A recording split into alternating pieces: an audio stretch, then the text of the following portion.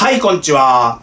えー、日本改革党、靴沢です。おにょへ様す、お、おにょへ様、上総介様、ご支援ありがとうございました。お二方とも何度も何度もご支援いただきまして、誠に恐縮でございます。ありがたく頂戴して政治活動資金させていただきたいと思います。えー、神棚いただいたのありましたんで、あの、整えまして、えー、サイズ的にジャストフィットでありました。えー、別なあの場所に、あの、ちゃんと整えて、えー、飾ってあります。えー、今の部屋なんですけれども、広さが半分になってしまった。新しい部屋ですが、あ 同じぐらいの家賃で探したら、あのー、やっぱ家賃も値上がりしてるらしく、同じぐらいの家賃で広さが半分になってしまって、あとね、台所、えー、IH のこのぐらいやって、シンクがこのぐらいやって、全部でこのぐらいしかないもんだから、野菜も切れないんですよ。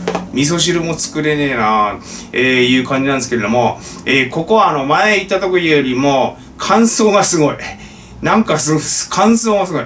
前の部屋はですね、あの、湿度35%以下にはなかなかならなかったんですけど、夕べ夜中にですね、咳、ゴンゴンゴンゴン、えー、出ちゃいまして、えー、起きてあの湿度計見たら23%って表示されてて、我が目を疑ってしまいました。えー、これのせいで咳出たのかなえー、ちょっとあの、冬とかは、あの、もう大丈夫でしょうけど、えー、冬とかは加湿器カーネクシャなんない、えー、騒ぎかな、えー、思っております。えー、だいぶ片付いてまいりました。広さ半分になっちゃったんですけど、結構収納があったんで、えー、まあまあ、あの、あれですね、えー、そんな持ち物多くない方だと思いますし、え、政府、少子化対策のため、国保税を500円程度上げようかな。企む。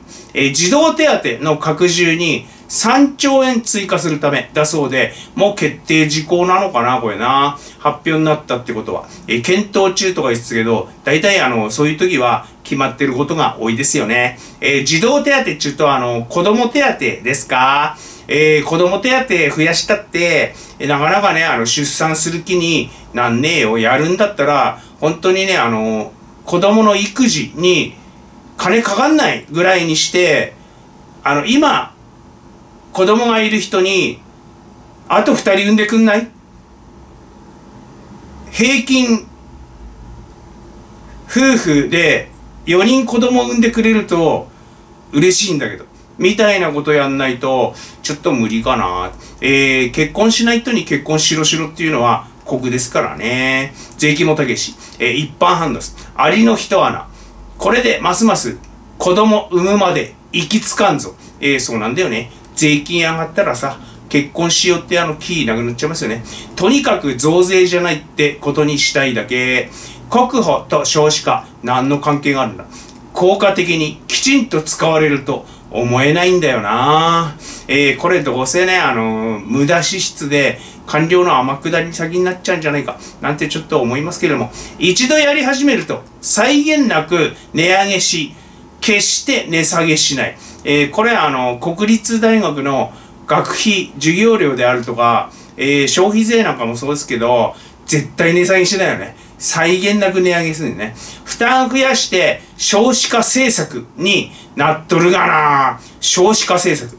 えー、これあの、女性が輝ける社会を、なんていうのも少子化政策ですよね。小さくスタートして、5年後には1000円超え。えー、まあ、じわじわじわじわ上げていくんだろうな。すでに子供、子育て拠出金って名目で、社会保険料に上乗せ徴収されてんですけど、これとは別なんすかね。支援金としての、なん、何支援？強要されて、あのー、強制で徴収される税金に、支援もクソもねえべって話なんですけど、名目なんかどうでもええ。なんとかごまかそうとしてるけれども、要するに負担が増えるってことでしょうね。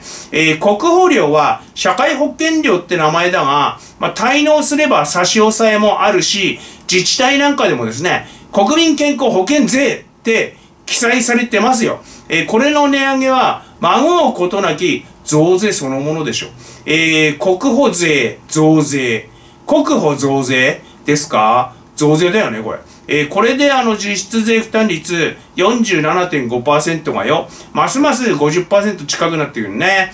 えー、あとあの NHK の受信料なんかも実質強制で税金ってもう取れますから、あとなんだ、えー、安全協会とかわけのわかんねえとこの500円ぐらいでしたっけ？今もっと上がってんのかな？多分あの調べて5割越した年、えー、これからどんどん上がってって50%とした、あ、越した、えー、越しちゃった年はですね、財務省がこれあの発表するんですけど、発表しないとか、発表を遅らすとか、検索に引っかからないように細工するとか、えー、ホームページの奥深くにしまい込んで見つけにくくするのかなえー、反動が大きいからね。ついに50%ご公ご民って国会で責められちゃうからね。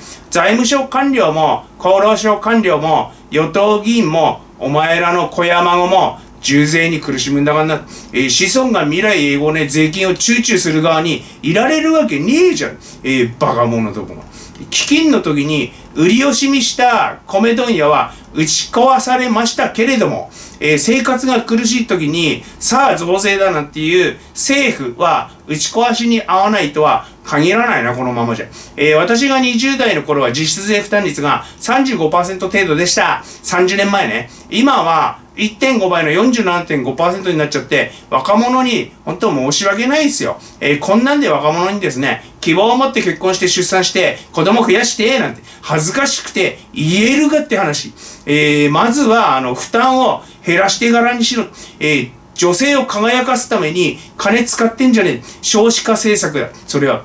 えー、岸田総理、去年のスペイン NATO 首脳会談に引き続き、今年のリトアニア会議に出席で調整だそうであります。えー、日本以外の G7 国、えー、米、英、仏、独、イ、カナダ、えー、プラス25カ国が参加している NATO と、えー、ゼレンスキー大統領も参加予定で呼んでるそうであります。ウクライナに関する重大な決定がある模様なんですけれども、年に1回の大会ですかね、なんでこんな大事を日刊スポーツしか報道してないんだっていう、なんでなんだ、結構な大事じゃねえの、これ、話なんですけれども、えー、一般反応です。えー、加盟に向け、着々やな、パヨ、ギギギギギ、胸を怒りの合吻。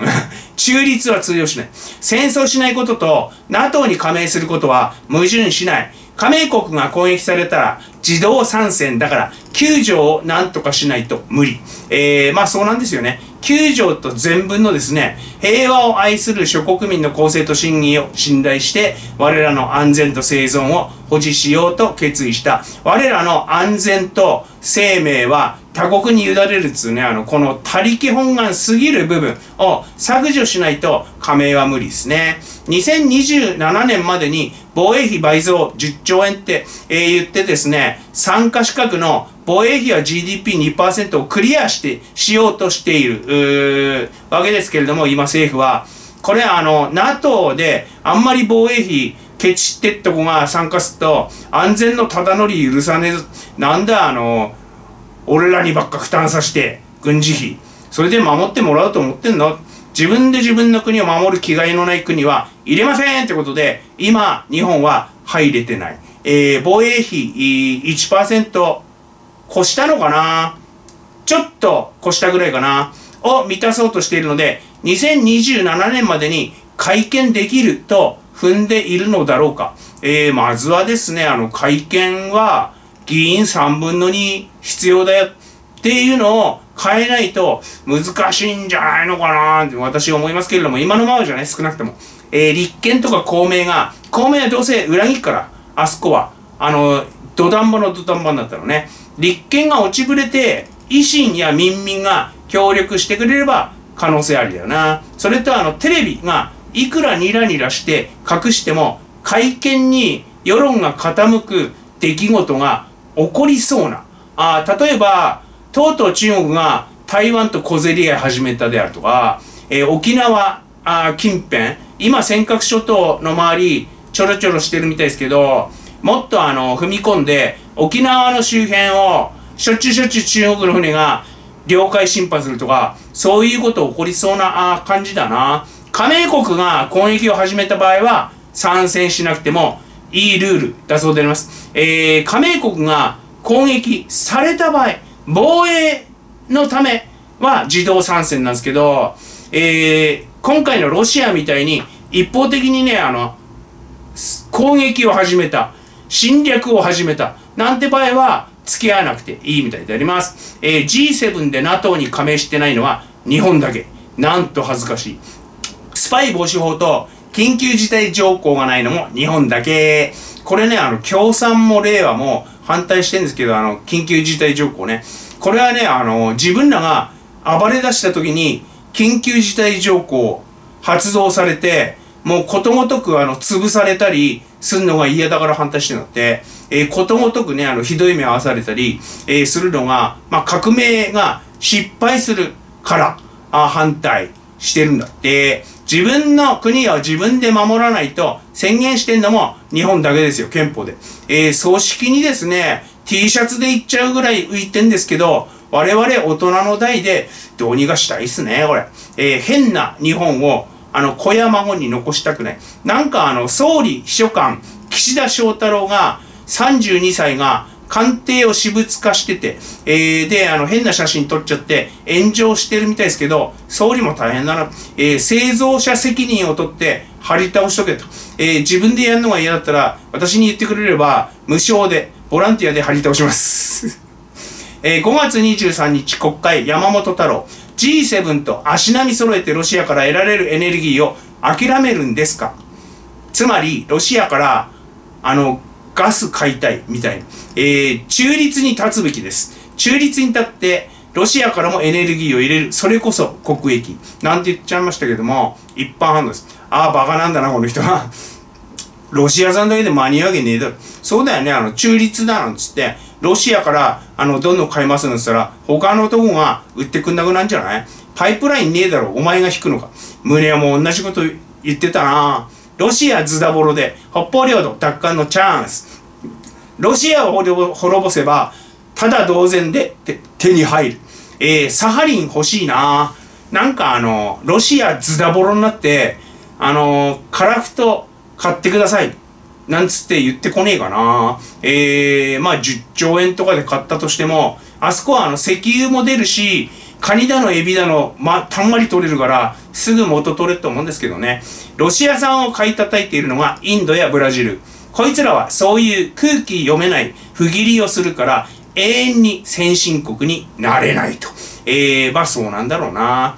えー、中立イコール、ゼレンスキーを招いた G7 を裏切ることになるんだが、それにあのー、ゼレンスキーを招くって、はたくたの日本じゃないのかな、気がするんですけど、まあ分かっていってるっぽいな、山本太郎はな。中立でなんですね。あの、G7 裏切れって言ってるんですけど、えー、中立イコール孤立ってことなんですけど、まあまあ、あの、2%のバカを騙せれば、政党を維持できるとか、山本は思ってる。えー、スイスみたくですね、軍事費をあの、10倍にして、国民開閉、皆兵士ぐらいやらないと、中立なんて維持できないですよね。えー、だってあの、ロシアも中国もアメリカも一緒になってかかってくかもしんねえっていう、えー、事態になっちゃうもんね、中立だと。